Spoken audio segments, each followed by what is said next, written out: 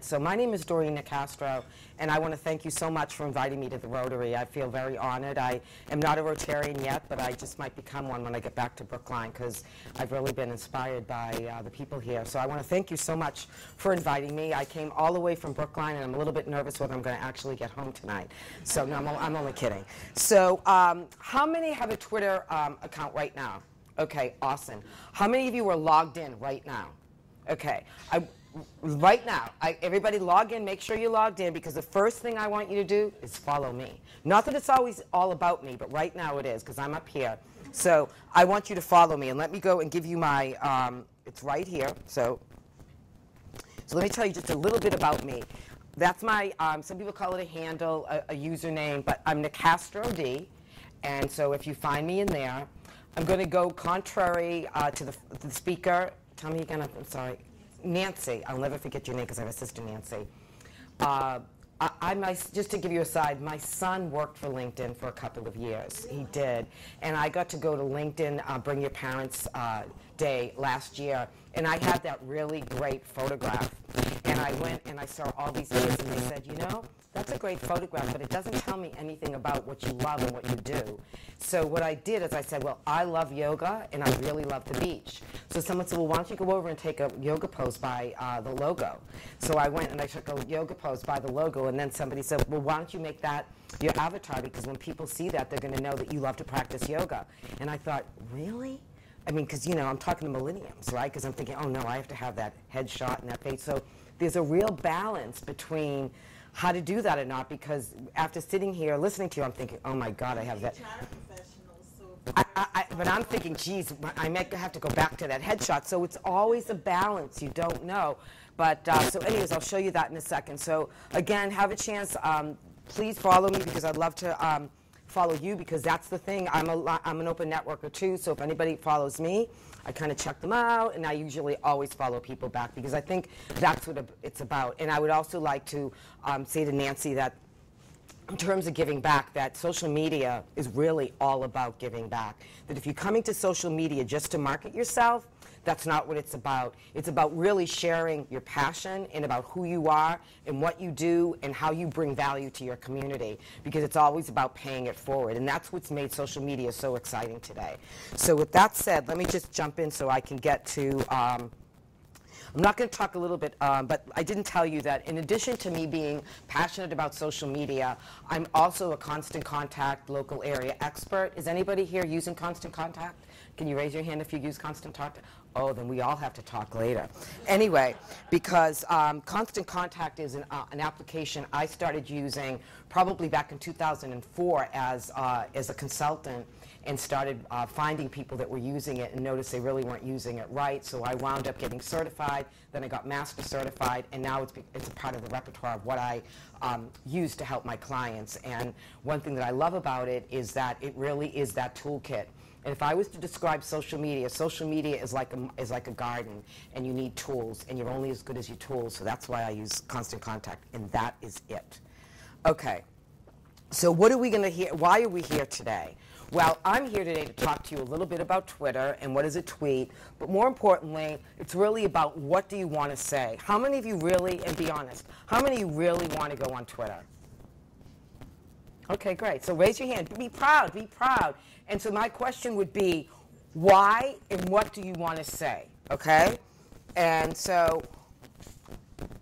well, let me just say, you're not alone because we all feel as though we need help with Twitter, all, uh, with social media in general. I jumped ahead a little bit. We all feel even those of us that are using it. And there was a woman in the uh, practices that everything changes all the time. You can't let that stop you. You just have to kind of jump into the pool. That doesn't mean you can jump into the shallow water. You'll get to the deep part. But let me just say here, it's important for you to know that there's a lot of networks out there. What you need to know, first of all, is where are your audience? It's more about your audience than it is about you. So I'm here to hopefully inspire you, to let you know that you're not alone, that you're sitting next to people that feel very similar to you, and that if you just jump in and be where you're at and start where you are instead of where somebody else is, you have more of a chance of feeling good about that. So all I'm saying is, it's, if you're not on Twitter, which most of you, I think, are, and you're not using it, hopefully by tonight, you're going to use it tonight by sending me a tweet. So just so you know, 54% of small businesses need some help with social media, and nonprofits as well. So don't think that you're alone here. And, and in addition, we have the same. So basically both nonprofits and small business are feeling very similar in that they're overwhelmed and they need some form of help with social media. So there is a lot out there. Now I think we talked about Facebook tonight. There was talking about uh, LinkedIn, and what I'm going to do is I'm going to talk about Twitter.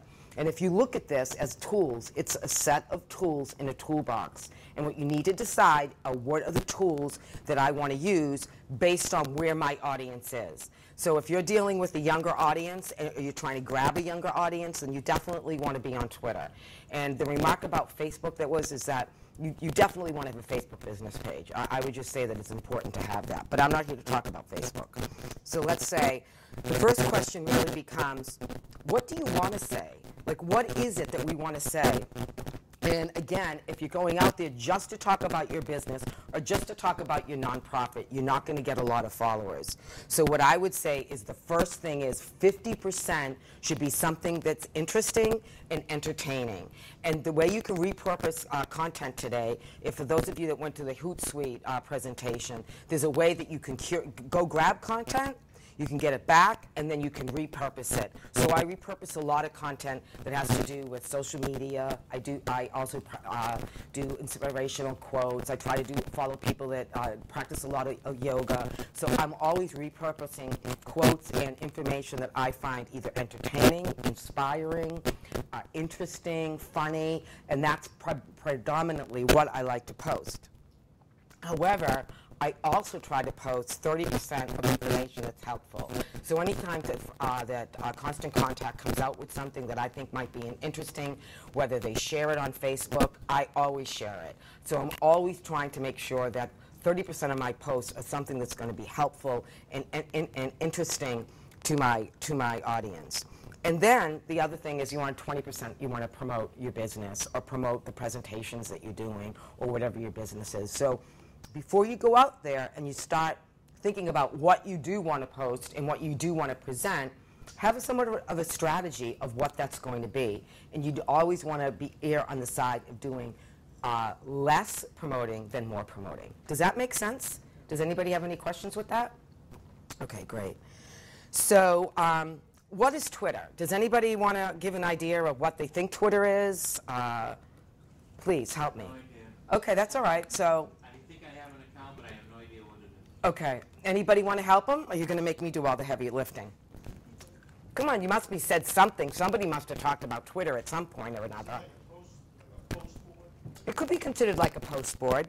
Some people consider it like back in the uh, old days of the breaker. Um, remember the CB radios? Okay, and you go breaker one, breaker one, here, short and sassy. How are you? Okay. Well, it's very similar to that, right? Because then everybody's going to come back and say, oh, breaker one, breaker one. I'm a. So think about that when you're thinking about Twitter. But what it is, is they've taken that idea and they've put it online. It is a networking service. But what it does is it enables users to send and read simple messages, whether it be as simple as uh, I just saw something really good in the New York Times. It was a, it was a post on um, a new yoga studio that's opening up. And then what do I do? I send it, and what the URL is, it's a click to the New York Times article.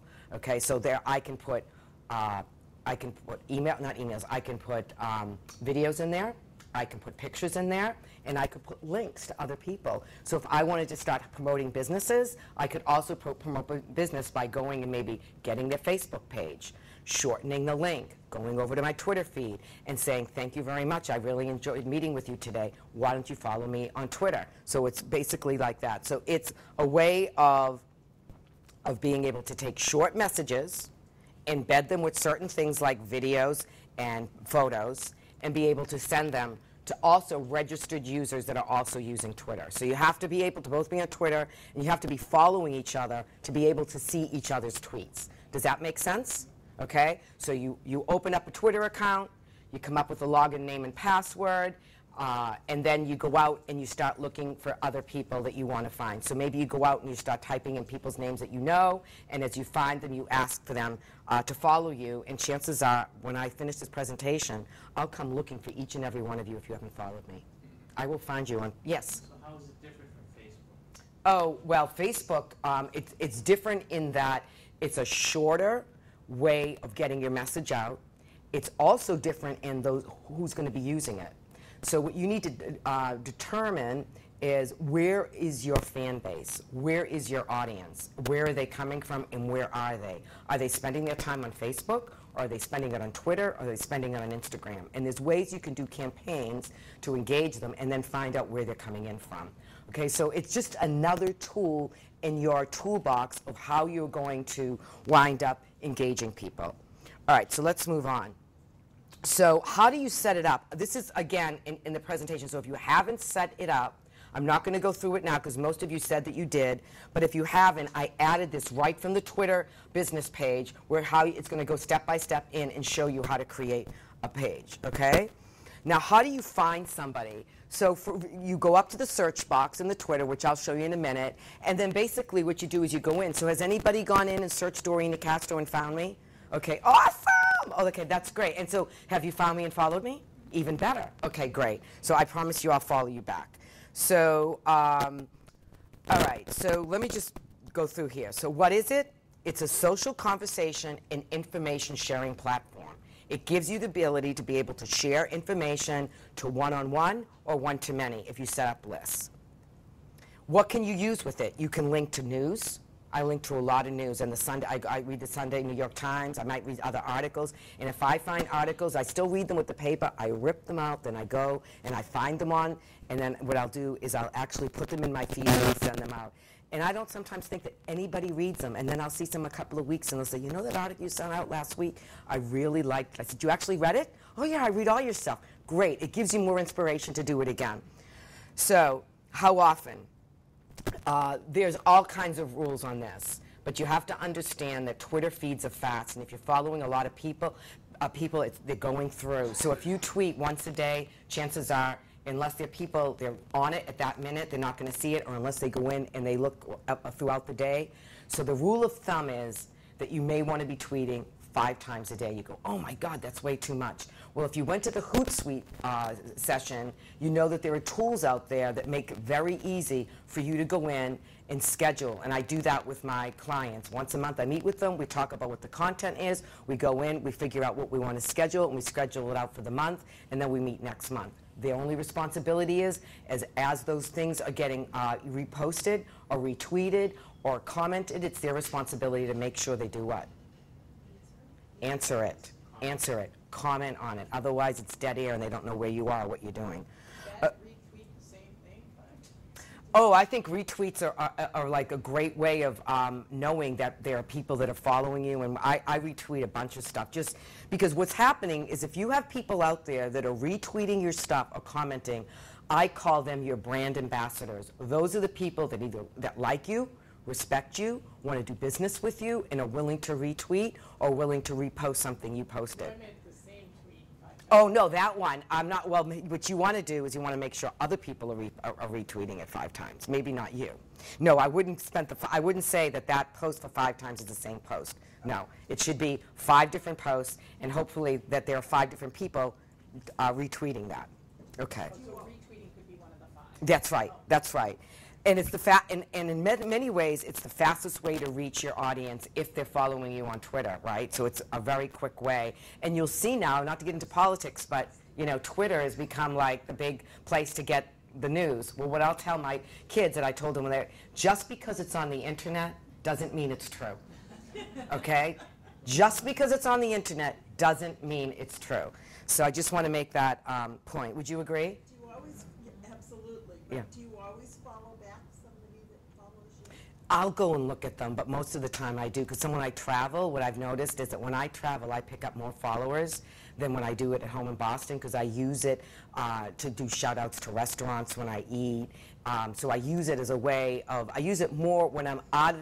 When I'm um, outside my local sometimes, just because I'm not sure where I'm going, and then I find something, whether it be a diner, and then I, you know, want to post about the diner. So then all of a sudden I pick up like three people in Vegas, or you know that kind of stuff, wherever I am. So, and that, um, and then I've also had people that have followed me, and I've done, done um, you know, back and forth with them, which I wouldn't have done otherwise. So it's okay. So building blocks of Twitter. So what I'm doing here is going through and showing you what a tweet looks like. So this particular uh, block here is a tweet, and all it is is it's a message of information that you that you're putting out there. And the second one there is your way. Okay, this is your way to be able to click to a reply that somebody. So when I send out when I send something out, someone can reply and say, "Oh, that was really good information. Thank you very much." Or that was very funny. Or uh, you know, that's the way you would reply. So a retweet um, is that what we talked about. It gives you the ability to retweet. So in this particular uh, post, it was retweeted 18 times. 37 people loved it. Okay, so that, that you're seeing that people are engaging with that particular uh, post. So a hashtag is a way of organizing information. So one of my hashtags is it pays to be social because I really believe that it does in many ways because I even heard it right here tonight. And so I'll go and I'll search on it pays to be social and I'll see who's using that hashtag and, so, and I'll engage with that person. So if you don't have a hashtag as part of your organization or part of who you are, you may want to think of one that it is and then start using it as part of your post. Like anybody for tonight, I think the post was, what was Rotary 70? 7910. So anything that you want to talk about about this event, you'd use that hashtag. And then what will happen is you can go back and you and you search on it and you'll see all the conversations that was talked about about the seminar. But then you'll also see people and then you can actually go in and say, "Oh, I'm going to follow that person." Or, "I really like that tweet. I'm going to retweet it." And a mention, the mentions are like the best thing, is when somebody mentions you in a, in a, in a tweet. That's basically saying, so at Nicastro D, uh, D, thanks, it was a really good presentation, or something like that. that. That's a mention. And then what happens is everybody that follows me, if they're on Twitter at that moment, they're going to see that mention. And some people will like it, and some people might retweet it. Did I go too fast? Is there any, yeah, Like multiple hashtags, you you can have multiple hashtags. You see that. Rotary one, your family one, your Yep. You have a biking one. It depends on what. So what, what the nice thing that social media has done is it's almost had for you to think about categories of your life. What are the categories of your life? And the thing is, is that they're all blending now. It's very hard to separate them all out. The, um, as again, my son, who's, uh, who uh, was big on LinkedIn, he shuts down all his social media. He always shuts it down when he's looking for a new job. He's never on any social media when he's in the middle of a job search. He just doesn't do it. He can turn his privacy settings off and everything because he wants to be clean. It's like a new way of how these kids find find it. But uh, so there's all different ways. Let me go. So any questions on the building blocks of Twitter? So this is a tweet. Those are all the different pieces of that Twitter tweet. Okay. Now let's look at what your profile would look like. Okay. So um, this is your profile. You're going to have that picture. My picture happens to be the ocean because I love I love the beach, and then my picture happens to be of um, me doing that yoga pose. So you know right away you're going to know. Oh, she loves the ocean and she loves to do yoga. So right away your profile says something about you. So right at the at the username, that's where they have. That's where people know how to get in touch with you by that username. You also want to have a little character about who you are. Um, that's that's your profile. That's your um, what do they call that? That's your bio. And then of course you have your headshot, which is what I would consider any headshot that you use. You, you're consistent about it. So so everybody's going to say, oh, that's Doreen. That's the person in the yoga. Or, or, or that's Nancy, because her picture is whether it's her LinkedIn or her Facebook or her Instagram. It's it- it's not like, oh, is that her? I don't know. That's a different picture. So you want to have some branding and be consistent about what that branding is. And you can pin your tweet. So there's that ability to say you had a really good tweet. So one of my exciting tweets for a while was after that LinkedIn, uh, bring your kids to, uh, bring your parents to work. I actually um, posted a post in LinkedIn, and my son retweeted it and the, and the CEO actually retweeted it to his, and so I wound up pinning that to my top of my Twitter feed because I thought, wow, that's about the biggest claim to fame I'm ever going to have, and I want people to be able to see it. So for a while, people were able to see it, and I, and I got um, email and I got all kinds of stuff saying, wow, you're the CEO of LinkedIn, um, retweet one of your posts. So that's it. Let me see if I can go through because I really want to show you. So business value, it's the fastest way to reach an audience, particularly if you know who that audience is and you start searching on them and you start following them and you want to send them something really quick. If they're using Twitter, you got them. So stand out with your tweets. Be positive, be passionate, be informative, be funny, uh, be helpful. Um, and then you use the an- analytics, which we probably don't have a chance to get to, but like anything, um, there's always analytics behind it. So, what works for, uh, uh, uh, for a, uh, twit- a Twitter post? If you have an image, use it. If, that, if, you, if you have a logo, use it. Show what you're, uh, what you're tweeting about. Short tweets are always important because you can do a short tweet with a link, and if they're really interested and they're captured by those first few uh, statements or that few first few letters, and they're going to click that link, and then you can bring them to something that's, uh, which I would say is you bring them to your website because that's the whole strategy. Social media is where you engage them, and then you drive them to your website, and then you have a call to action there, and you measure it. That's what it's all about. That's the strategy. Some people say, don't put all your eggs in one basket. Your basket is your website because that's the most important thing because you own it and it can't be taken away from you. Hashtags. Hashtags are a way of being able to take content and be able to organize it by a particular hashtag. So you see a lot of hashtags out there now as part of whether it be uh, for the marathon that's coming up or an event. People have maybe two or three different hashtags. It's just a way of being able to organize and then going back and searching on it.